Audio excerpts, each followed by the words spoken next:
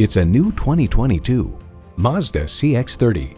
It's composed and agile in the hustle of the city and spacious and versatile for the bustle of the journey. It comes nicely equipped with features you love.